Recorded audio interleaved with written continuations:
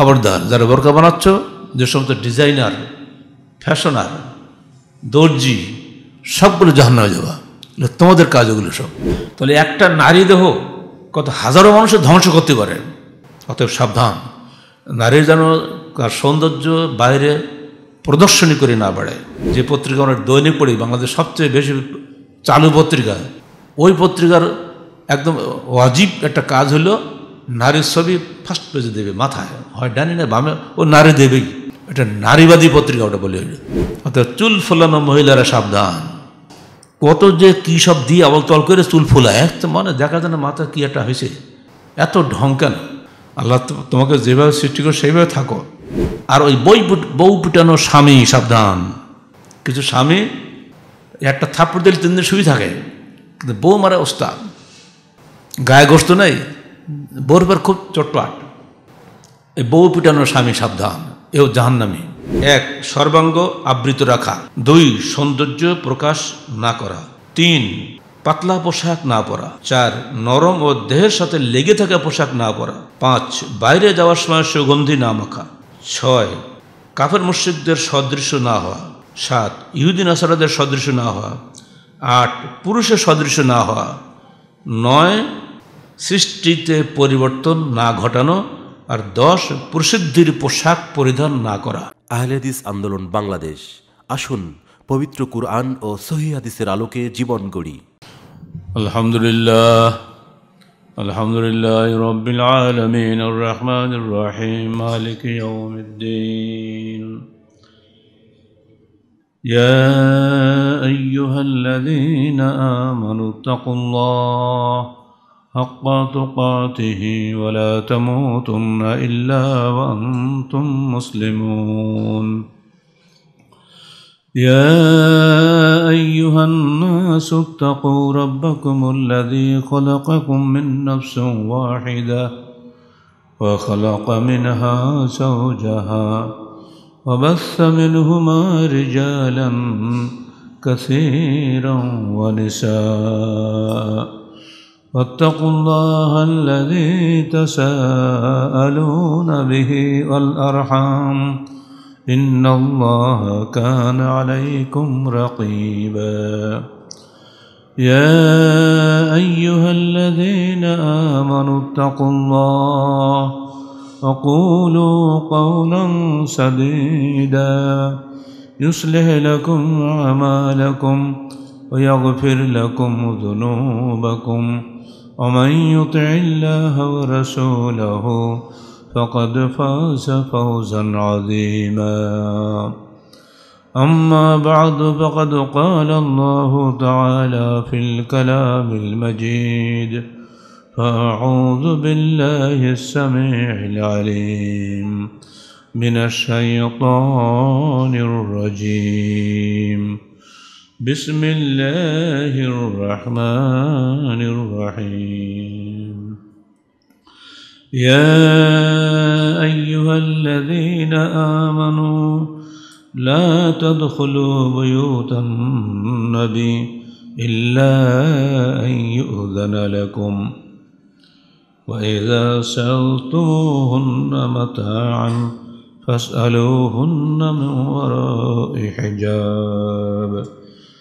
ذلكم أطهر لقلوبكم ذلكم أطهر لقلوبكم وقلوبهن সুরা আজাব তিপ্পান্ন আয়াত যাবতীয় হামদোসানা আল্লাহ রবুল্লা আলমিনের জন্য এবং যাবতীয় দরুদ সালাত শেষ নবী মোহাম্মদ রসুল্লাহ সাল্লাহ আলহি ওসাল্লামের জন্যে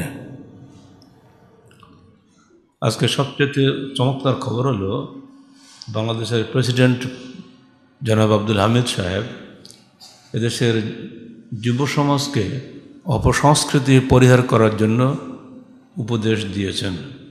আমি সর্বান্তকরণে তাকে ধন্যবাদ জানাচ্ছি একটা সুন্দর কথা বলার জন্য। এরপরও প্রশ্ন থাকবে, অপসংস্কৃতির ব্যাখ্যা কি? যারা অপসংস্কৃতির বাহক এদেশের, তারা ইসলাম সংস্কৃতিকেই অপসংস্কৃতি বলে। কোন নিয়েতে উনি বলেছেন সেটা আমরা জানি না, তবে ধরে নিতে হবে যেহেতু উনি মুসলমান নিঃসন্দেহে ইসলামের পক্ষে বলেছেন এবং বিপক্ষকেই অপসংস্কৃতি বলে তিনি চিহ্নিত করেছেন। সেটাই যদি হয়, আমরা তাকে তার এই মন্তব্যকে স্বাগত জানাচ্ছি। রসুল্লাহ সাল্লাহ সাল্লাম পঞ্চম হিজড়িতে তার ফুফত বোন জনব বিনতে জাহাজকে বিবাহ করেন। এই বিবাহের অলিমতে তিনশো লোক দাওয়াত পাইছিল। গোস্ত রুটি খাইয়েছিলেন তিনি সবাইকে। কিন্তু খাওয়ার পরে সবাই গল্প করছে, কেউ বাড়ি যায় না। কিন্তু উনি কাউকে বলতে পারছেন না যে তোমরা চলে যাও। বলা যায় মেহমানকে। আর এত লোক, ওনার তো ছোট্ট একটা কুঠুরির মতো এক একটা ঘর। ওনার এগারো জন স্ত্রীদের এক একটা ছোট্ট ছোট্ট ঘর, মাটির ঘর। যাই হোক, মূলত উপলক্ষ হচ্ছে এইটা। ওমর ফারুক বললেন, আসলে পর্দার একটা আয়াত নাজিল হওয়া দরকার। এই পুরুষ লোকগুলো বাড়ির মধ্যে ঘোরাফেরা করছে, মহিলাদের সমস্যা হচ্ছে, আল্লাহ কি মেহরবানি? আল্লাহ পাক আয়াত নাজিল করলাম যেটা আমি একটু আগে বললাম, সুরা হাজাব তিপ্পন আয়াত। এর সার নজুল হচ্ছে এটা। ওমর ফারুক সেজন্য বলেছেন যে আল্লাহ পাক আমার তিনটি মন্তব্যের সঙ্গে তিনটি আয়াত নাজিল করেছেন। একটা হলো রসুলের এই বিবাহের দিন আমি মন্তব্য করেছিলাম যে পর্দার আয়াত নাজিল হওয়া দরকার, আল্লাহ সঙ্গে সঙ্গে পর্দার আয়াত নাজিল করছে। আর একটা হলো মক্কামে ইব্রাহিম সম্পর্কে, মক্কা বিজয়ের দিন। আমি বলেছিলাম যে এই মক্কামে ইব্রাহিমটা, যেটা একদম কাবা ঘরের গায়ে লাগানো তো, তারপর দাঁড়িয়ে যে পাথর গাঁথা হয়েছে, ওটা একটু সরিয়ে দিয়ে ওটাকেই কেবলা হিসেবে গ্রহণ করা হোক। নইলে কাবাঘরের চারদিকে সব কেবলা হবে। না তো কেবলা তো একটাতে হতে হবে। তো মকায় মেয়ে ইব্রাহিমকেই কেবলা হিসেবে গ্রহণ করা হোক।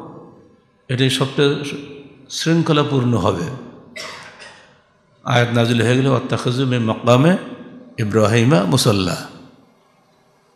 আরেকটা কি? বদরের যুদ্ধের পর দিন বন্দি বিনিময়ের সময় আল্লাহ রসুল সুরা বৈঠক বসালেন যে তোমাদের কার কি মতামত বলো।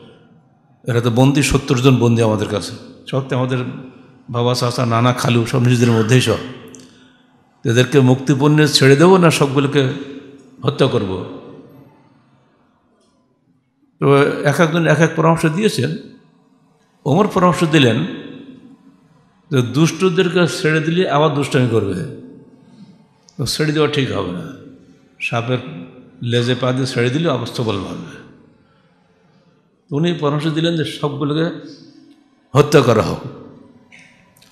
আবু বকর বললেন যে, কেমন হলো?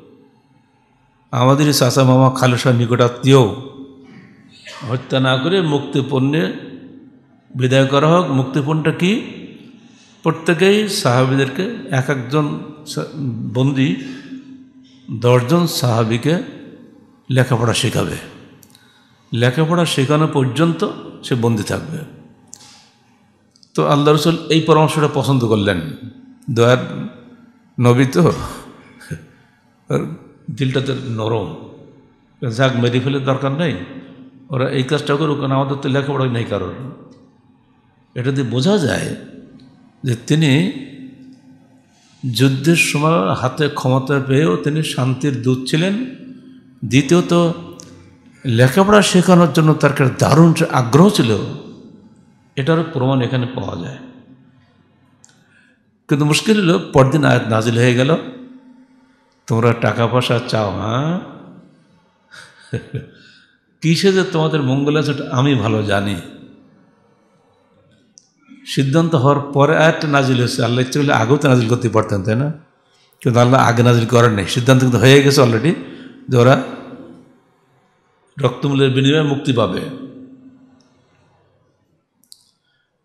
সিদ্ধান্ত পরিবর্তন হয়নি, কিন্তু আয়াতটা নাজিল হলো ওমরের পক্ষে। তো আল্লাহ রসুল এবং আবু বকর কেঁদে যারা যারা হাই আমরা কী অন্যায় করলাম? কিন্তু এটা ওনারা বুঝলেন, আল্লাহ পাক যদি তক্ষণে নাজল না করে, পরে যদি নাজিল করেছেন, তা আমাদেরটা তিনি আপাতত গ্রহণ করেছেন।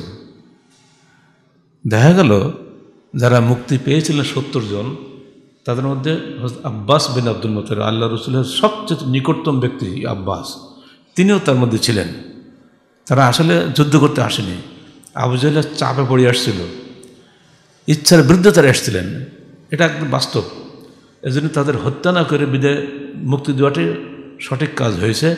আল্লাহ পাক এটা স্বীকার করলেন, কিন্তু পরবর্তীতে সাবধান। আর যেন শত্রুকে সাপের যে পা দিয়ে ছেড়ে দেও না এইটা সাবধান করা হয়েছে। ওমর ফারুক বলছেন এই তিনটি ব্যাপারে আমার মন্তব্য আল্লাহ পাক কবুল করেছেন এবং আয়াত নাজির করেছেন। বলেন সুহানুল্লাহ ঠিক অমনি করে আরেকজন মহিলা আছে, শুধু পুরুষ না, একজন মহিলা। তার জন্য সুরা মজাদিলে প্রথম আয়াত নাজিল হয়। খাওয়ালা বেনতে আলাবা উনি ওনার স্বামী ওনাকে তালাক দিয়েছে। বুড়ো বয়সে তালাক দিয়েছে, বুড়ো যাবে কোথায়? তো একজন কাছ থেকে কাপড় হলাত করে নিয়ে বড় পোশাক তো নাই, গরিব মানুষ সব। সেই বড় জিলবাব পরে বড় চাদর গায়ে দিয়ে আল্লাহ নবী দরবারে এসে বললেন, আমি কি করব? আমার সন্তান আছে, স্বামী আছে, আর এই বুড়ো বয়সে আমাকে তালাক দিতেছে জেহার করেছে। বলে আমি তালাইয়া কাজাহারে উম্মি, তুমি আমার নিকট তোমার, আমার মায়ের পিঠের মতো, তার মানে হারাম, হবে না। তা আমি যাব কোথায়? আল্লাহ নবীর সঙ্গে ঝগড়া করছে। আল্লাহ নবী বলছে, তোমার ব্যাপারে কোনো সিদ্ধান্ত আমি পাচ্ছি না, তো কোরআনে কিছু নাই, তো কী বলব? কিছুক্ষণ পরে ওই মহিলা তো রাগ ঝাল করে চলে যাচ্ছে। ঠিক সেই সময় আয়াত নাজিল হয়েছে। সুরা মজাদালা প্রথম হাত পড়ে দেখবেন। মজাদালা মানে কি? ঝগড়া করা। তো মহিলা আল্লাহর সঙ্গে আল্লাহ নবীর সঙ্গে ঝগড়া করছিল। ঝগড়ার নামটা দিয়ে কোরআনের সুরার নাম হয়েছে সুরা মজাদালা এই মহিলার জীবনে এটা শোনেন। তালাক তো হয়নি বইলে ফেরত নিয়েছে। পরবর্তীকালে ওমর ফারুক যখন খলিফ হলেন, একদিন তিনি সেনা সমান্ত নিয়ে যাচ্ছেন। ওই মহিলা বাড়ি থেকে বেরিয়ে একদম সাদা পোশাক পরে ওমর থাম। ওমর ছুটে চলে গেলেন। ওমর চেনে, এই সেই মহিলা। অনেক কথা বলল। ফেরত আসার পরে এই ওনার সাথী যারা ছিলেন, মন্ত্রী শান্তির যারা থাকে তো, খলিফা গেলে যে আপনি একটা সাধারণ মহিলার সঙ্গে দাঁড়িয়ে এতক্ষণ কথা বললেন আর আমরা এতক্ষণ লোক লোক দাঁড়িয়ে থাকলাম আপনার কি, কোথাকার মহিলা ওটা? তোমার পরে এমন ধমক দিলেন। জানো, এই সেই মহিলা, যার কারণে আল্লাহ পাক সঙ্গে সঙ্গে দুনিয়াতে আয়াত নাজিল করেছে, যার অভিযোগ আল্লাহ দুনিয়া থেকে আড়াশে বসে শুনেছে, আর সঙ্গে সঙ্গে আয়াত নাজিল করেছে। খবর রাখে, এই মহিলাটাকে এত উচ্চ মর্যাদা সম্পন্ন মহিলা। মুসলিম উম্মার মধ্যে কেউ নাই। বলো সুহানুল্লাহ হামদি ওই মহিলা যদি আমাকে সারাদিন দাঁড়াকায় দেখতো কালে সালাতের টাইমটুকু ছাড়া আমি পুরো টাইম ওকে দাঁড়িয়ে থাকতাম। এত উচ্চ সম্মানিত যে আল্লাহর আরও সে সম্মান পেয়েছে, সে আমাদেরকে সম্মান পাবে না? ধরে নেন ওমর ফারুক কেমন সম্মানিত তার প্রস্তাব আল্লাহ গ্রহণ করেছেন। ঠিক কেউ মহিলা খওলাবিন্দু সাহালাবা তিনি কেমন সম্মানিত যে তার অভিযোগ সঙ্গে সঙ্গে আল্লাহ গ্রহণ করেছেন। তার প্রেক্ষিতে সুরানাজিল হয়েছে। আমাদের নারী জাতিকে, আমাদের পুরুষ জাতিকে ওমরের মতো খাওয়ালের মতো হওয়া কিন্তু অত্যন্ত উচিত যেন আমাদের কথা আল্লাহ যেন শোনে দুনিয়া থেকেই। যারা আল্লাহর সত্যিকার নেককার বান্দা হয়ে যায়, হাদিসে বলা হয়েছে, তাদের হাত পা আমার হাত পা হয়ে যায়, তাদের জবান আমার জবান হয়ে যায়, তাদের কান আমার কানে পরিণত হয়, তারা যা চায় আমি তাই দেই। সুরা হাদিসে করছি সালাতুল্লাহের প্রথম থেকে হাদিসটা পড়ে দেখবেন। এই জন্য এই সমস্ত নেককার মানুষের সঙ্গে শত্রুতা করতে নেই। নিষেধ করা হয়েছে হাদিসে যে ব্যক্তি এইসব লোকদের সঙ্গে শত্রুতা করে, আল্লাহ আমি তার বিরুদ্ধে যুদ্ধ ঘোষণা করি, খবরদার। এটা নেককার মানুষের সঙ্গে কেউ ঝগড়া করবে না। আসল প্রসঙ্গে আসেন, আজকের খোদ্া হবে শুধুমাত্র নারী জাতির উপলক্ষে। নারী জাতির জন্য আল্লাহর পক্ষ থেকে দশটা হেদায়ত নাজিল হয়েছে। এই দশটা হেদায়ত আমি সিরিয়ালি বলব, দয়াকে মনে রাখার চেষ্টা করবেন। আর বাড়িতে গিয়ে ক্যাসেটটা শুনবেন। ইনশাল্লাহ অনেক উপকার হবে আপনাদের নারীদের জন্য, পুরুষদের জন্য। ওই যে ঘটনা বললাম, পঞ্চম হিজড়ির জুলকাদ, জিলকাদ মাসে জয়নাব বিনতে জাহাসের বিবাহের অলিমা উপলক্ষে যে ঘটনা ঘটেছিল, রমর ফারুক বলছিল একটা পর্দার আয়াত নাজিল হওয়ার দরকার ছিল? সেই উপলক্ষে সুরে আজাব তিপ্পন্ন আয়াত, অর্থাৎ পর্দার আয়াত নাজিল হয়, হিজাবের আয়াত নাজিল হয়, হিজাব আর কী বলে ওটাকে? বোরকা নিয়ে কত কি হচ্ছে না? আজকেও দেখেন পত্রিকা দিয়েছে, ভারতের সুপ্রিম কোর্ট কর্ণাটকের হিজাব বিরোধী ফত, সিদ্ধান্তকে মানে রেখে দিয়েছে, বাতিল করেনি। মুসলিম মেয়েরা হিজাব পরে আসবে, হিন্দুরা টিটকারি করে, হিন্দু ছেলেরা আর মামলা হয়েছে। কিন্তু কর্ণাটক হাইকোর্ট মুসলিম মেয়েদের এই মামলা গ্রাহ্য করেনি। শেষে দিল্লি সুপ্রিম কোর্টে গিয়েছে সেখানে এই মামলা খারিজ করে দেওয়া হয়েছে যে না, মুসলমান মহিলারা হিজাব পরতে পারবে না তারা এই ড্রেস কোড পরবে, স্কুল কলেজে আছে তাই।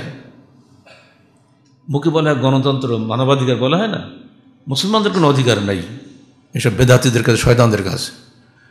তাগুতের বিধানটাই তাগুত, আর আল্লাহর বিধানটার আল্লাহ এলাহি বিধান।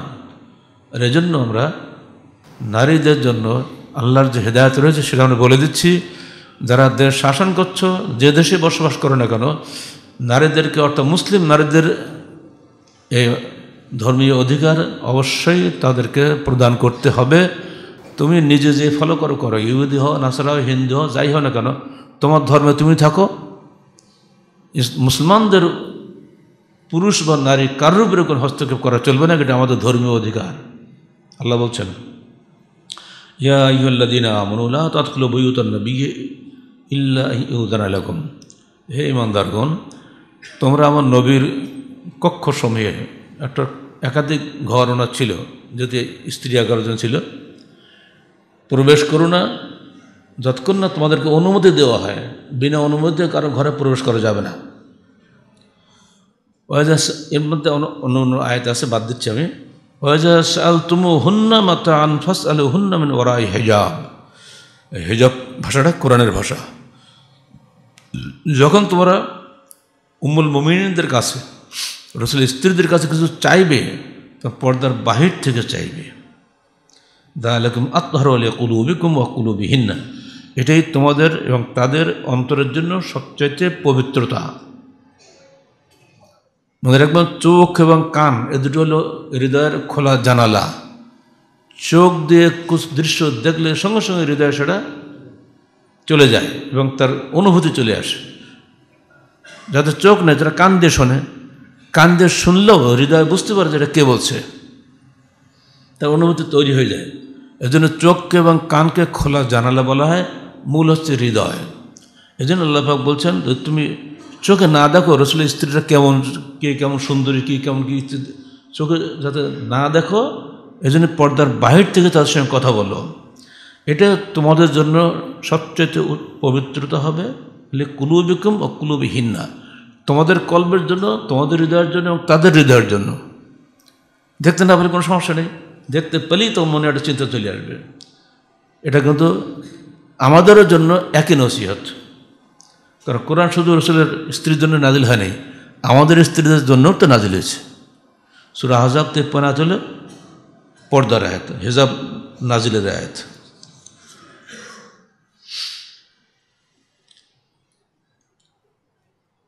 আর সমস্ত দেহ আবৃত্তি করা হচ্ছে এক নম্বর হেদায়ত। দশটি হৃদায়তের মধ্যে এক নম্বর হৃদায়ত হচ্ছে সর্বাঙ্গ আবৃত্তি করা। নারীদের অঙ্গের কোনো অংশ আলগা থাকবে না। বাইরে যখন থাকবেন, কি যে ঢাকবেন ওটাও পর্যন্ত আল্লাহ বলে দিয়েছে, সুরে আহজাব উনষাট আয়াত। আল্লাহ বলছেন, ইয়া আইহান নবী উল্লে আজওয়াজিক ও বানাতেক ও নেসাইল মুমিনিন ইউদিন আলাই হিন্ন মেন জালাবি বিহিন্ন। দালেকে আদনা আই ও রফনা ফলাই উজাইনা কান আল্লাহ গফুর রাহিমা। সুরা আহজাব উনষাট আয়াত। হে নবী, তুমি তোমার স্ত্রীদেরকে এবং কন্যাদেরকে এবং মুমিনদের স্ত্রীদেরকে বলে দাও, তারা যেন তাদের দেহের উপরে জালাবিব রাখে, অর্থাৎ জিলবাহ বড় চাদর দিয়ে আবৃত করে রাখে। জালেকে আদনা ওরাফ না এটাই তাদেরকে চেনার জন্য এটি সবচেয়ে নিম্নতম পন্থা। কারণ যারা কাজের মহিলা, সে সময় কৃতদাসী যারা ছিল, তারা অত কড়া পর্দা করতো না, হাত, মুখ মুখ খোলা থাকতো তাদের। কিন্তু ভদ্র মহিলা যারা, বাড়ির মালিক যারা, তাদের সমস্ত দেহ আবৃত থাকতো। থাকলে বোঝা যেত যে এটা হলো স্বাধীনা নারী, এটা হলো কৃতদাসী। পার্থক্য বোঝা যেত এখনও দেখবেন আপনাদের বাড়িতে যারা কাজের, কাজকাম করে যেসব মহিলা, তাদেরকে এবং বাড়ির যিনি প্রধান সেই মহিলার মধ্যে। চেহারা দেখলেই পোশাক দেখলেই বোঝা যায় এটা হলো বাড়ির কাজের মহিলা, এটা হচ্ছে বাড়ির মালিক মহিলা। পার্থক্য বোঝা যায় না, এটা সে যুগেও ছিল। তাই পোশাকটা বলে দিচ্ছেন আল্লাপাক বড় চাদর দিয়ে ঢাকতে হবে, যেন কিছুই দেখা না যায়। কান আল্লাহ গফুর আর রাহিমা। আয়াত নাজিলের পূর্বে তোমরা যা করেছ, আল্লাহ সেগুলোর ব্যাপারে ক্ষমাশীল দয়াবান। দুই নম্বর হেদায়ত, সৌন্দর্য প্রকাশ না করা। আল্লাপাক নারী জাতিকে সৌন্দর্যের আধার করে সৃষ্টি করেছেন। প্রত্যেক নারীর নিজস্ব সৌন্দর্য আছে। পুরুষ এবং নারী পরস্পরের চুম্বকের মতো আকর্ষণ করে পরস্পরকে। তো এই আকর্ষণের শক্তি নারীদের মধ্যে আল্লাহকে একটু বেশি দিয়েছেন। যদি এটা তারা জাহির করে, তাহলে পুরুষ সমাজ সব তাদের প্রতি আকৃষ্ট হয়ে পড়বে, ফলে সমাজ ধ্বংস হয়ে যাবে। যারা ইতিহাস খবর রাখেন, তারা জানেন, বিগত যুগের বড় বড় সভ্যতা ধ্বংস হয়েছে মাত্র দুটি কারণে। নারী এবং মদ। মিশরীয় সভ্যতা, আসিরীয় সভ্যতা, বাজান্টাইন সভ্যতা, ভারতীয় সভ্যতা, মহেঞ্জোদার হরপ্পা সভ্যতা, এক এক যুগে অত্যন্ত নাম করা সভ্যতা ছিল সব। সব ধ্বংসে যখন তারা বিলাসী হয়ে গেছে টাকা পয়সা বেশি হয়ে গেছে তখন সব এই নারী আর মদে চুর হয়ে গেছে। ফলে এইসব সভ্যতা আল্লাপাক দুনিয়া থেকে একদম শেষ করে দিয়েছেন। আমাদের নবীদের কাহিনী এক পড়ে দেখবেন, সেটা আমরা বলে যে ছয়টা জাতির ধ্বংসপ্রাপ্ত, ছয়টা জাতির ইতিহাস আমরা লিখেছি সেখানে। কমে নুহ কমে আদ কমে সামুদ কমে ফ্রাউন কমে লুত, এমনি ছটা জাতি একদম শেষ।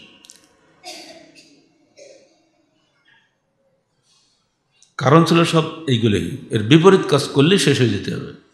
সৌন্দর্য প্রকাশ না করা সৌন্দর্য দুই ধরনের। একটা হচ্ছে প্রকাশ্য সৌন্দর্য, একটা হলো গোপন সৌন্দর্য।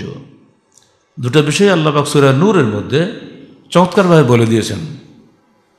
তিরিশ এবং একত্রিশ হাত দুটো মিলে যদি বলি, আল্লাহ পাক প্রথমে বলছেন পুরুষদেরকে কুল্লিল মোমিনিন ইয়াকুদ্দুবিন আফসোয়ারিম হাফাজু ফরুজম হে মোহাম্মদ, তুমি পুরুষদেরকে বলে দাও, মমিন পুরুষদেরকে বলে দাও তারা যেন দৃষ্টিকে অবনত রাখে এবং তাদের লজ্জাস্থানকে হেফাজত করে। ঠিক পর্যায়তে আল্লাপাক বলছেন কুল্লিল মোমিনাত ইয়াকুদ্দিন আফসোয়ারহীন হাফাজ না তুমি মোমিন নারীদেরকে বলে দাও, তারা যেন তাদের দৃষ্টিকে অবনত রাখে এবং তাদের লজ্জাস্থানকে হেফাজত করে। দেখেন, দুটো কিন্তু পরপর। আগে কিন্তু পুরুষকে বলা হচ্ছে, তারপরে নারীকে বলা হয়েছে। বলা করে বলা হচ্ছে ওলা ইউদ্দিনা জিনা তাহন্না ইল্লা মা জাহরা মিনহা। ওলে অদ্রবনা বেখমরহিন্না আলা জয়ীবিহীন্না নারীরা যেন তাদের সৌন্দর্য প্রকাশ না করে, তবে যেটা প্রকাশ না হয়ে যায় না, ইল্লা মা জাহারা মিনা যেটা প্রকাশ হতেই হবে। সেটা কি? এ নিয়ে ব্যাখ্যা দিচ্ছেন হজরত আবদুল্লাহ মসুর আদালতানো তিনি বলছেন, পোশাক, রিদা। মেয়েরা যে চাদর পরে বা যে পোশাক পরে, এটা তো প্রকাশ পাবেই।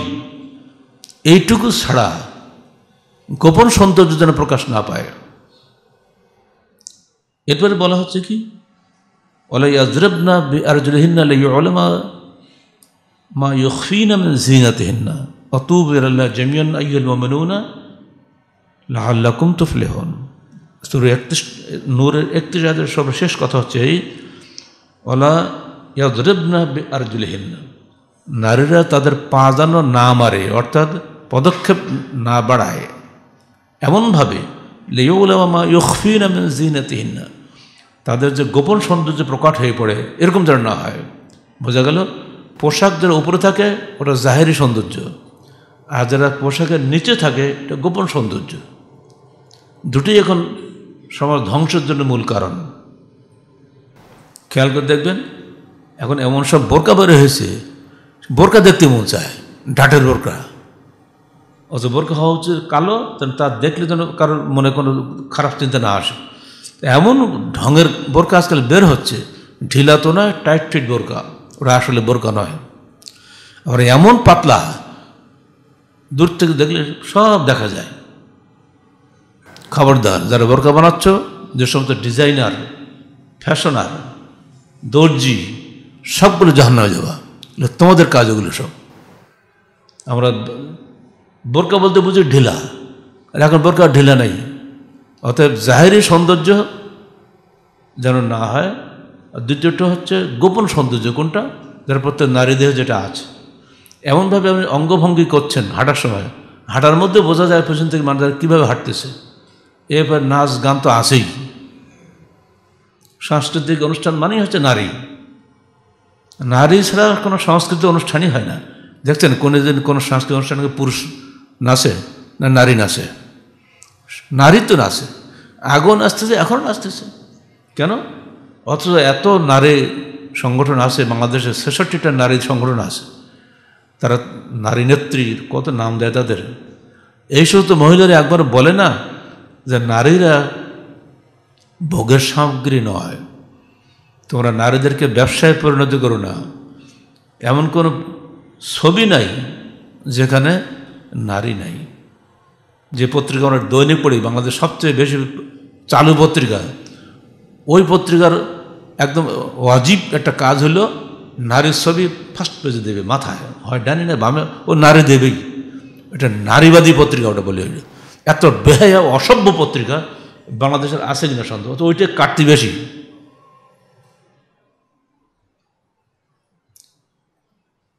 অথচ মুখে বলা হচ্ছে নারী পুরুষ এখন লিঙ্গ বৈষম্য নাই। তাহলে বিয়ে করো কেন বেটা? লিঙ্গ বৈষম্য বলা যাবে না। ডিপার্টমেন্টে থাকার সময় দু একটা গল্প মনে এসে যায়। তখন আমি চেয়ারম্যান ছিলাম ডিপার্টমেন্টে। তো যেতেই হয় বাধ্য ফ্যাকাল্টি মিটিংয়ে হঠাৎ শুরু হয়ে গেল, একটা মহিলার নাম বলল, তার নামে অধ্যাপিকা বলা হলো অধ্যাপক বলা হলো। এখন একজন বলল, তো পুরুষের নামের শেষে আগে অধ্যাপক বলা হচ্ছে, তো মহিলাদের নামের তো অধ্যাপিকা বলা উচিত।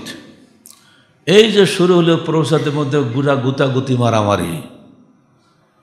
এক একজন এক এক যুক্তি দেয়, যুক্তিতে চললে দুই ঘণ্টার মিটিং তো দেড় ঘণ্টা গেলে অধ্যাপিকা আর অধ্যাপক ঠিক করছে।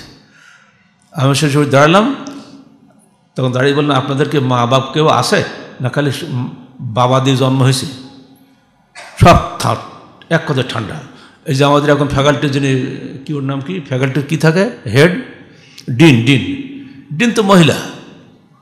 তো ওনাকে পুরুষ বলতে হবে? এটা নিয়ে তো বাড়াবাড়ি কেন? এটা কা আর ক নিয়ে এত ঠেলাঠেলি হতে মিটিং করবেন কখন? তা আমি চললাম, আপনাদের দু ঘণ্টা মিটিং, দেড় ঘণ্টা শেষ, আমার বাসের টাইম হয়ে চলে গেলাম। পরের দিন দেখালাম সিদ্ধান্ত পরে আশি নব্বই সিদ্ধান্ত সব তালিকা পাঠাইতেছে। আমাদের এই সিদ্ধান্ত করল কে? আমি তো মেম্বার, আমি ছিলাম না সেখানে। ওই সিদ্ধান্ত আগে তো করে নিয়ে এসে নিয়ে সব লিখে ডেটা সব সই করে সরি আগে যদিও সই করে নেওয়া হয়েছে, আমাদের সমস্যা নেই।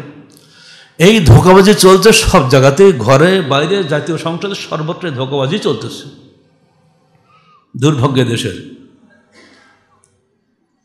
লিঙ্গ বৈষম্য নাই, এই ফালতু কথা, এটা নিয়ে কোনো প্রশ্ন ওঠাই তো ঠিক না। আল্লাহ পাক নিজেই লিঙ্গ বৈষম্য সৃষ্টি করে দিয়েছেন। আদম থেকে আল্লাহ হাওয়াকে সৃষ্টি করেছেন এবং স্বামী স্ত্রীর মাধ্যমে পৃথিবীতে মানব বংশের বিস্তৃতি লাভ করছে। এ তো আমরা সুরায় নেশার প্রথম আয়তে আল্লাহ বলে দিয়েছেন। মহিলাদের সম্বন্ধে আল্লাহ একটা আলাদা একটা সুরাই নাজিল করেছেন। নেশা মানে কি? মহিলা না? ছিয়াত্তরটা আয়াত সেখানে এসে গেছে। একবার নারী উন্নয়ন নীতিমালা হচ্ছিল বাংলাদেশে। আমাদের প্রধানমন্ত্রী খুব লাভালাভি করছিল। মিটিংয়ে যাবে, কত কী করবে শেষকালে আমার দিলাম আর্টিকেল সম্পাদক আচ্ছা আমাদের লিখে দিলাম। খবরদার, নারী উন্নয়ন নীতিমালা আল্লাহবাগ নিজে বলে দিয়েছেন সুরা নেশার মধ্যে, ওইটা, ওইটাও করেন, ওর বাইরে কোন নীতিমালা হবে না। নারী উন্নয়ন কৃষি হবে আল্লাহবাগ নিজেই সুরা নাজিল করে দিয়েছেন, সেখানে আল্লাহ বলে দিয়েছেন। এর বাইরে কারও কোনো যুক্তি, পরামর্শ, সিদ্ধান্ত, জাতিসংঘের কিছুই আমরা তক্কা করি না। এই দিলাম আর্টিকেল দিলে আচ্ছা মতো আস্তে ঠান্ডাই আর কেন কিছু বলছে না কেউ আর। উনিশশো আটাত্তর সালে ঠিক এরকম একটা হয়েছিল যে ওরম সাহের আমলে ওনারা এরকম একটা চেষ্টা করেছিলেন। তারপরে ওর বিরুদ্ধে লিখলাম ইত্তেফাকে, নিজের নাম দেয়নি, আমার ভাগ্নির নাম দিলাম।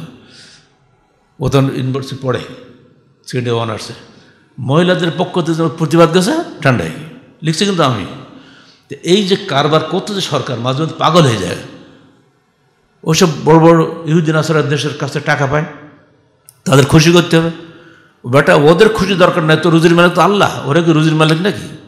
আল্লাহ বাংলার জমিনে যে বরকত দিয়েছে, পৃথিবীর কোনো জমি এত বরকত দেয়নি। এখানে একটা এক কাঠা জমি হলে তার রুজির ব্যবস্থা হয়ে যায়। কিছু না তো ঘাস হবে অন্তত। কিছু না কচু গাছ তো হবে। ও কচু গাছ কেটে খেলে তো কচুর শাকের পাতা যে ভিটামিন সি আছে, ওই দিয়ে আমাদের স্বাস্থ্য ভালো থাকবে। একটা কচু গাছের পাতায় তিনটা ভিটামিন সি ট্যাবলেট হয়। আর ওই সি ট্যাবলেট কিনলে খাব কিন্তু কচুর পাতা খাব না। এটা ডাঁট বাদ দাও। আল্লাহ তোমার এখানে বহুত রুজির ব্যবস্থা করে দিয়ে এখানে খাও। একটু ছোট্ট পুকুর হলে সে এমনিতে মাছ হয়ে যায়, কারণ বলা লাগে না। পৃথিবীর কোনো দেশে এই বরকত নাই। আর বাংলার মানুষ যাবে, ওই সমস্ত শয়তানদের কাছে হাওয়ালাদের টাকা ভিক্ষা করার জন্য যাবে? ভিক্ষা বৃত্তি ছাড়ো, আল্লাহর নিয়ামতের অপেক্ষা করো, তওয়াক্কাল করো, আল্লাহর পরে ইনশাল্লাহ আল্লাহ রুজির মালিক, তিনি সকল ব্যবস্থা করবেন। তাদের নারীদের কৃষি উন্নত হবে, কৃষি উন্নত, এটা নিয়ে আপনার চিন্তা করে দরকার নেই, ও চিন্তা আল্লাহ করে দিয়েছেন। তো প্রকাশ্য সৌন্দর্য অর্থাৎ পোশাকি সৌন্দর্য গোপন সৌন্দর্য হচ্ছে নারীর দেহের সৌন্দর্য, কোনোটাই যেন প্রকট হয়ে দেখা না দেয়, এটা হল আল্লাহ দুই নম্বরের হেদায়ত। যারা ফ্যাশন ডিজাইনার তারা সাবধান থাকো। এজন্য জাহালি আরবের মেয়েরা রাস্তাঘাটে ঘুরে বেড়াতো ফ্যাশন করে। তাদেরকে ধমক দিয়ে আল্লাহ মুসলমানদেরকে বলছেন, মুসলিম নারীদের খবরদার ওয়াকার নাফি বইতে কুন্না উলা। হে মেয়েরা, ঘরে বসো। ঘরে অবস্থান করো তুমি। তো বাইরে যে লাফালি করো, তোমার তোমার কাজ না। ও কাজ তোমার স্বামী করবে। এবং জাহালি আরবের মেয়েদের মতো তোমরা রাস্তায় রাস্তায় সৌন্দর্য প্রকাশ করে বেরিয়েও না। আসলে আমরা তাই করছি না। ঘরের মধ্যে খারাপ পোশাক পরে, বাইরে ডাটের পোশাক পরে। এসব মেয়েগুলো পিটান দরকার না খালি? এরা পরপুরুষকে আকৃষ্ট করার জন্য সুন্দর পোশাক পরে। কিন্তু বরকা পরলে পোশাক দেখা যায় না, এজন্য বরকা পড়তে চায় না। কত চিন্তা, তারা রুচিটে পরিবর্তন হয়ে গেছে। আমি ফাজাল আবন ওবায়দ রাজন কল কল রসুল্লাহ সাল্লাহ আলি সাল্লাম, বলবেন সবাই সাল্লাহ আলি সাল্লাম সালাসাতুল্লাহ তুসাল আনহুন্না, তিন দল লোক আছে যাদেরকে কোনো প্রশ্নই করা হবে না, সোজা জাহান্নাম নিক্ষেপ করা হবে। এক রাজুল ফারকাল জামা ও আসা ইমামাহু ও মাতা আসিয়ান। যে ব্যক্তি জামাত থেকে বেরিয়ে গেল, তার আমিরের অবদ্ধ হলো এবং ওই অবদ্ধ অবস্থাতেই মৃত্যুবরণ করল। এটা নিয়ে অনেকে অনেক কথাই বলেন। এর অর্থ রাষ্ট্রীয় আমির, এর অর্থ মানে সংগঠন, যারা সংগঠনে বেরিয়ে গেছে, তারা বলে এর অর্থ সংগঠন, এর রাষ্ট্রীয় আমির। অনেক কথা বলার চেষ্টা করে। বরং আরও বড় করে বললে হয়, মুসলিম উম্মা থেকে বেরিয়ে যাওয়া। সবটাই ঠিক আছে। দুই নম্বর আমাতুন আব্দুল আবাক্কা ফামাতা। বাড়ির ওই চাকর বা চাকরানি যারা পালিয়ে গেল অথবা ওই অবস্থায় মারা গেল, অর্থাৎ তার উপর দায়িত্ব ছিল স্বামী, তার মনিবের সম্পদের মালের হেফাজত করা, সেটা না করে সে পালিয়ে গেছে। এই ব্যক্তি আল্লাহ তাকে জাহান্নামে নিক্ষেপ করবেন। তিন ইমরাতুন গাবা আনহা জাওজুহা কত কাফাহা মৌনত দুনিয়া তত্তাবার রজত বাদাহ আনহুম ওই মহিলা যার স্বামী বাড়িতে নাই, অথচ স্বামী তার জন্য ভরণ পোষণ পুরো ব্যবস্থা করেছেন। এরপরও ওই মহিলা ঘরের বাইরে গিয়ে সৌন্দর্য প্রদর্শন করে বেড়ায়। আল্লাহ রসুল বলছেন, ফলা তুস আলো আনহুম। ওদের কোনো সওয়ালই করা হবে না, প্রশ্নই করা হবে না, সোজা জাহান নাম অতএব নারী জাতি সাবধান। আখরাজুল বুখারি পিলাদুল মুফরাদ। রাশিয়ার একটা ঘটনা অনেক আগে আপনাদেরকে বলেছিলাম কয়েক বছর আগে, আবার মনে করিয়ে দিই। একদিনে রাশিয়া শহরে পাঁচশো একাত্তরটা অ্যাক্সিডেন্ট হলো। পুলিশ খুঁজেই পায় না কী ব্যাপার। কারণ কি? এত অ্যাক্সিডেন্ট একদিনে কেন হলো? এ তো কখনোই হয় না। অবশেষে কারণ অনুসন্ধান করে পাওয়া গেলে এই যে একটা বিজ্ঞাপনদাতা ব্যক্তি, সংস্থা, তারা তাদের চমক সৃষ্টির জন্য যাতে মানুষের দিকে তাকায়, সেই বিজ্ঞাপন ওরা তৈরি করেছে একটা নগ্ন নারী দিয়ে। দিয়ে তার উপর যে একটা লম্বা কাগজ দিয়েছে, এরা নজর কাড়ে। তো নগ- নারী নজর কাড়বে না? এইটা সুন্দর করে ফ্লেক্সি দৌড় দিয়ে ট্র্যাকের ডাইনে বামে পিছনে লাগাই দিয়েছে। ওই ট্র্যাকটা যত দূর ঘুরেছে রাশিয়া শহরে, একটা কি, দুটা কি, পাঁচটা করে বলতে পারো হয়তো কয়েকটা ট্র্যাক হবে। শহরে যত জায়গায় ওই ট্র্যাক ঘুরেছে, আর পিছনের ট্র্যাকওয়ালা বা বাসওয়ালা বা প্রাইভেটওয়ালা যারা ওটা নজরে দেখেছে, ওই যে তাকাইছে, গাড়ি অ্যাক্সিডেন্ট হয়ে গেছে। বুঝছেন? তো একে দিনে পাঁচশো একাত্তরটা অ্যাক্সিডেন্টের পত্রিকা আসছিল। তাহলে একটা নারী দেহ কত হাজারো মানুষের ধ্বংস করতে পারে। অতএব সাবধান। নারী যেন তার সৌন্দর্য বাইরে প্রদর্শনী করে না বাড়ায় তিন নম্বর, পাতলা পোশাক না পরা। মানে আবি হরাইরাতা রাজালতা আনহ কল কল সাল্লাম সিনফান মিন আহলিনার লা আরমা বাদ, নিসাউন কাসিয়াতুন আরিয়াতুন মাইলাতুন মমিলাতুন আলা রউসিহিন্না আমসাল আসনিমাতিল বখতে ইলা আখির হাদিস দুটা দল আছে জাহান্নামি। এক এক দল হলো ওই মহিলা, যারা কাপড় পরে কিন্তু ল্যাংটা থাকে। নিজেরা অন্যের দিকে আকৃষ্ট, অন্যকে আকর্ষণ করে। তাদের মাথায় চুল উঁচু করে রাখে, মাথার উপরে বক্তি উটের ঝুটির মতো। দেখেন বড় বড় ষাঁড়, ঝুঁটি ওদিক ঘুরে না, খেলে ডানি বামে ডানি বামে ঘুরে, তো ওরা মাথায় চুল খাড়া করে রেখে দেয় ওই রকম উঠে রসুল আমাদের গরু নেই, তো উঠ আছে ওই দেশে, তো একদল একটা বক্তি উঠ হলেও তার দুটা ঝুঁটি ওই ঝুঁটি যেমন ঘোরাঘুরি ডানি বের করে এদের মাথায় চুল থেকে ওরকম ডাঁট দেখায় ঘুরি ঘুরি বেড়ায়। এরকম মহিলা বাংলাদেশে নাই, অসংখ্য মহিলা আছে নেতা নেত্রীদের মধ্যেও আছে এরকম।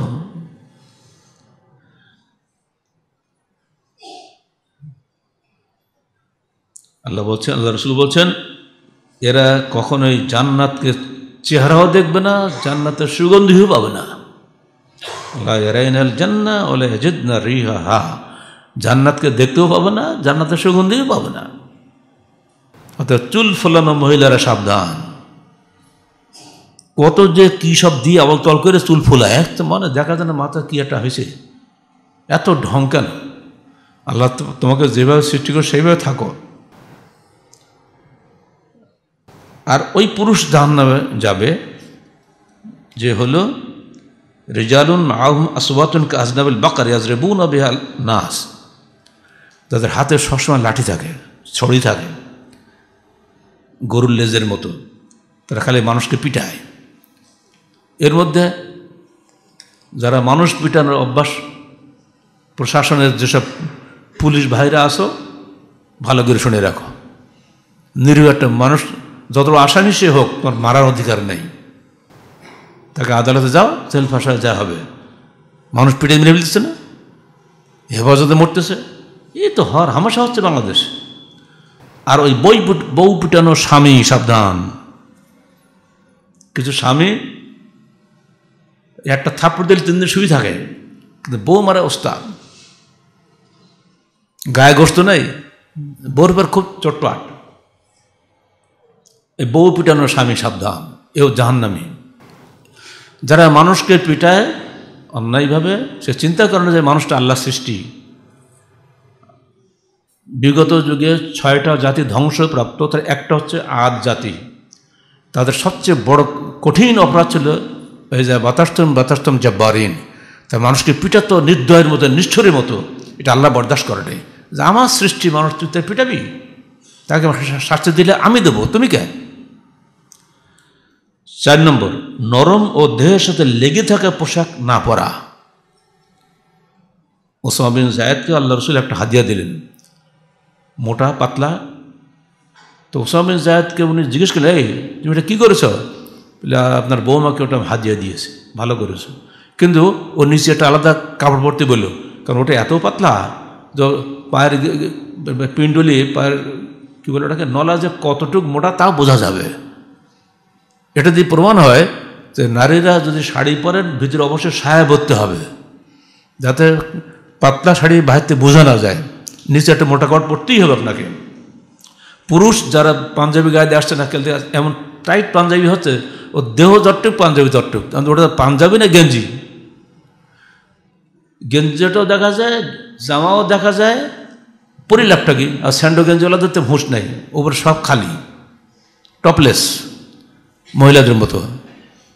পুরুষরা পর্দানসীন হন, মহিলারাও পর্দানসীন হন। পুরুষরা ঢিলা পাঞ্জাবি গায়ে দেবেন, মহিলারাও ঢিলা জামা গায়ে দেবে। নরম এবং দেহের সাথে মিলে থাকে এমন কোনো পোশাক পরবেন না। পাঁচ, বাইরে যাওয়ার সময় সুগন্ধি না মাখা। মেয়েদের জন্য একটা নিষিদ্ধ একেবারে।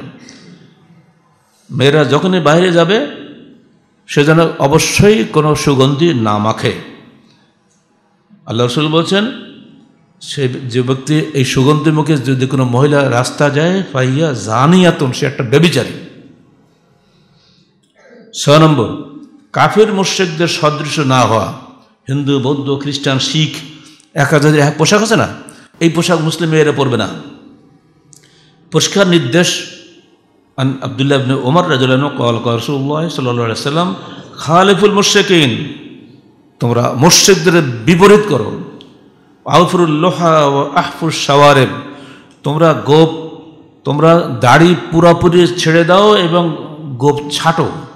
আজকাল মুসলমানদেরই গোপ লম্বা, দাড়ির খবর নেই। উল্টো হচ্ছে না? এটা তো অমুসলিমদের সদৃশ্য হয়ে গেল, এটা করা চলবে না। ইবনি মর্তে একটা হাদিস রসুলাম একদিন একটা ছেলেকে দেখলেন যে তার চুলের কিছু অংশ শেষে ফেলেছে কিছু অংশ লম্বা আছে। ছেলে, এদিকে আসো। তুমি এটা কী করেছ? চুলের কিছু অংশ শেষে ফেলেছো কিছু অংশ রেখে দিয়েছ? হয় পুরোটা নেড়া করো না পুরোটা রেখে দাও? আজকাল বহু ছেলেকে আমরা দেখি না, হিপি মার্কা চুল, উপরে মাথা চুল আছে নিজ দিয়ে কিছু নাই। এ আজকে নতুন জাহাইলি আরবি এগুলো ছিল। তাহলে তোর মডার্ন কি হলে? তো জাহেল তো তোমরা তো মডার্ন হলো এটা কি? নির্দেশ এসব ছেলেদেরকে বলছি, হয় বাবা চুল পুরা খা, ছেড়ে ফেলল লেড়া হও। আন্দোলনের চুল ভদ্রভাবে রাখো। একদিন আবদুল্লাহ আমর আস একটা হলুদ কাপড় পরে সামনে আসলেন। বলতে, কী বাবা তুমি হলুদ পরছো? খবর দেও হঠাও এ না হাজিমেন সিয়াবিল কফার ফালা তালবাসা। এটা তো কাফেরদের পোশাক। এই পোশাক তুমি খবরদার পড়ো না। রহ মুসলিম। বোঝা গেল যে কাফেরদের পোশাক মুসলিম পুরুষ হোক, নারী হোক, পরবে না। সাত নম্বর। ইহুদিন আসারদের সদৃশ্য অবলম্বন করা যাবে না। ইহুদিন আসার যে পোশাক পরে, যেভাবে চলে, যেভাবে কানাপিনা করে, কিছুই গ্রহণ করা যাবে না। আল্লাহ রসুল বলছেন না খালেফুল ইহুদা ও নাসারা। তোর ইহুদিন আসারদের বিপরীত করো। আর আল্লাহ কোরআন আরও কঠিন বলছেন, আমি কি তোমাদেরকে সবচেয়ে নিকৃষ্ট কিছু কথা বলে দেবো তাদের পরিণাম সবচেয়ে নিন্দনীয়? যাদের উপরে আল্লাহ পাক লানত করেছেন এবং যাদের আল্লাহ গজব নাজির করেছেন, তারা কারা? ও জালা মেনহিমুল কেরাদাত খানাজির। যাদেরকে আল্লাহ পাক শুকুর বানরে পরিণত করেছিলেন। ও আবাদাত তাগুত, যারা তাগুতের উপাসনা করে। উলায়কা শারুর মাকান ও আদাল্ল সওয়া ইসাবিল সুরা মায়দা ষাট এক এজন্য ইহুদিন আসারদের বলা আসাহাবুল কেরাদাত খানাজির। আপনারা জানেন তো দাউদুল্লাহ সাল্লামের জীবনে ওই যে সুর বানে পরিণত করেছিল না? এটা সুরা বাকারা পঁয়ষট্টি আয়তও আছে, আবার সুরা মায়দা ষাট আয়তও আছে, একই ঘটনা। তো এখানে দুটাই যে ইহুদিন আসরাদেরকে আমরা সবসময় প্রতি যখন সুরা ফাতেহা পাঠ করি, গায়রিল মাকদুব আলহিম বলি না? ওনার দল্লিনের কারা? মাকদুব আলহিম তো ইহুদি। ওনার দল্লেন না সারা আল্লাহ তুমি আমাদেরকে ওদের পথে নিয়ে যেও না। আমরা বলছি কিন্তু করছে সেটা উল্টা। সাবধান। আল্লাহ বলছেন আলম তজদানকে লেহুদ আল্লাহ নাসার হাতা তাত্তা বেমিল্লা তো খবর দা মনে মোহাম্মদ, কোনোদিন ইহুদিন আসার তোমার উপরে সন্তুষ্ট হবে না, যতক্ষণ তুমি নিজে ইহুদিন আসার না হবা। অতএব মুসলিম উম্মা সাবধান। নারী, জাতি, সাবধান। তাদের কোনো অনুকরণ, কোনো দিকেই করা যাবে না না খানা ফেরা না কিছুতে। এই যে রানী আলী যে সত্তর বছর রাজত্ব করল বেচারি মূল্য আটই সেপ্টেম্বর বৃহস্পতিবারে আর দাপন হলো উনিশ সেপ্টেম্বর সোমবারে। এই এগারো দিন ফেলে রাখল লাশ। এখন এখন উনি এতদিন পরে অন্তিম যাত্রা করলেন। আপনি ছিল কোথায়? ওর রুহু তো কোথায় চলে তার ঠিক ঠিকান নেই। এই হলো বিজাতীয় প্রথা। আমাদের মধ্যে ঢুকে গেছে। যদি কেউ মারা যায় ছেলে মেয়ে যদি বিদেশ থাকে, লাশ ফ্রিজ রেখে দেয়। ও আসলো তিন দিন বা চার দিন পরে, তখন যে জানা যায় এটা খবর দেয় এটা করবেন না। লাশ মরে গেছে, বেশ আল্লাহ নজর হুকুম হচ্ছে, দ্রুত তাকে দাফন করো, দেরি করব না। দাফন করতে যতটুকু সময় লাগে, ততটুকু দেরি করেন। কিন্তু অহেতুক আপনি ছেলে দেখবেন, মেয়ে দেখবেন বলে রেখে দেবেন তিন, চার দিন ইহুদিন আসারদের অনুসরণ এটা করা যাবে না। আট, পুরুষের সদৃশ না হওয়া, নারী কোনো পুরুষ হবে না পরবে না পুরুষ কখনো নারীর পোশাক পরবে না। পরিষ্কার নিষেধাজ্ঞা একবারে। আর আপনি বলছেন কলা লান আল্লাহ পাক লানত করেছেন ওইসব ছেলেকে যারা নারীদের পোশাক পরে ওইসব মেয়েকে যারা পুরুষের অনুকরণ করে। রহল বুখারি। নয়, আল্লাহ সৃষ্টিতে পরিবর্তন না ঘটানো। আল্লাহ যাকে যেভাবে সৃষ্টি করেন তাতে পরিবর্তন ঘটানো যাবে না। যেমন একদিন ইবনে মসুদ বললেন যে আল্লাহ পাক লানত করেছেন ওই সমস্ত মহিলাদেরকে যারা নিজেরা হাতে উল্কি লাগায়। আবার অন্যদের দিয়ে উল্কি করিয়ে নেয়।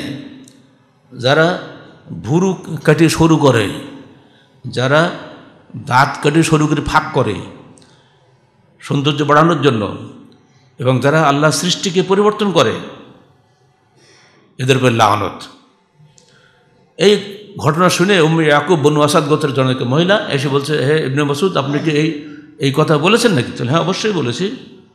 আপনি কেন বললেন? তাহলে আপনি কোরআন পড়েন? তাহলে কোরআন সব মুখস্থ। কোথায় কথা লেখা নেই? তাহলে আপনি ভালো করে পড়লে বুঝতে পারবেন। বলেন তো দেখি।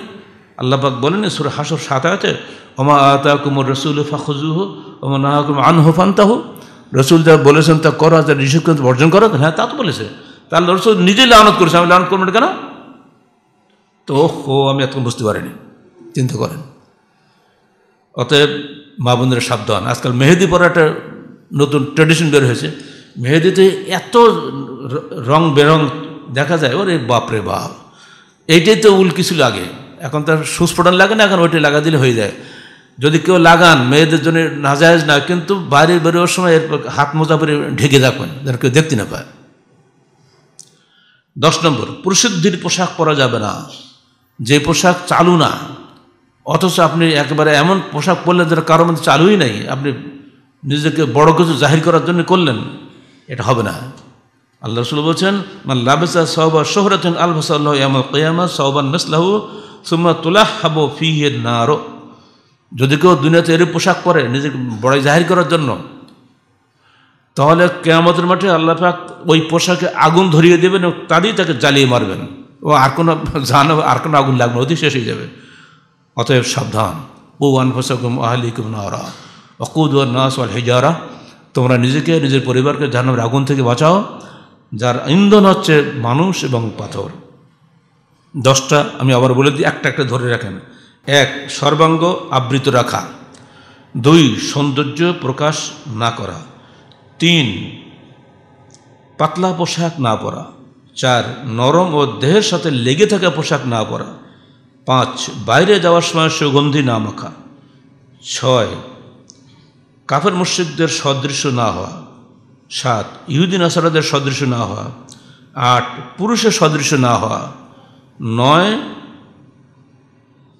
সৃষ্টিতে পরিবর্তন না ঘটানো আর দশ, প্রসিদ্ধির পোশাক পরিধান না করা। আল্লাহ পাক আমাদের সবাইকে এই দশটি হৃদায়ত মেনে চলার তৌফিক দান করুন। আমিন। আকুল কৌলি হাজা আস্তাকুল্লা আলী ওয়ালাকুম আল্লাহ মুসলিমিন।